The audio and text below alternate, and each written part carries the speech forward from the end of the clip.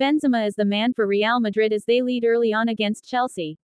Real Madrid have struck first in the first leg of their Champions League quarter-final against Chelsea at the Santiago Bernabeu.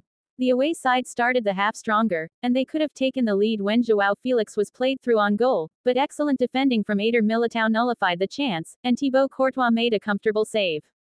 That woke Real Madrid up, and after 23 minutes, they have opened the scoring, and as expected, it is Karim Benzema with the goal. Dani Carvajal played a gorgeous chip through ball to Vinicius Jr., whose effort was stopped by Kepa Arrizabalaga. Unfortunately for Chelsea, Benzema was there to score into the empty net.